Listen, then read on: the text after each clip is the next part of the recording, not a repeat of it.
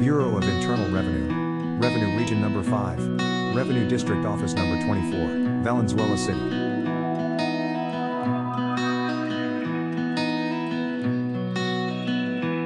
Philippine Standard Industrial Classification.